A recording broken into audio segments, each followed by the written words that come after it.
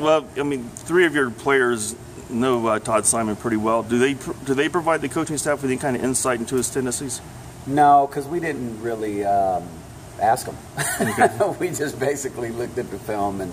Um, you know, I don't know what he's doing. I don't. I didn't go back to the UNLV stuff last year and look and say I've watched it before, but I didn't watch it in relation to is he doing the exact same things. We just took the the games that he's played this year because he's got different personnel, so I don't know if the exact same things are going to be implemented this year going forward. So, um, but you know, he's he's kind of like uh, same same boat we're in, you know, trying to rebuild it and, and, and get some things going in the right direction with his with his stamp on it. So uh, you know, I'm not sure that it was going to be what he did here anyway.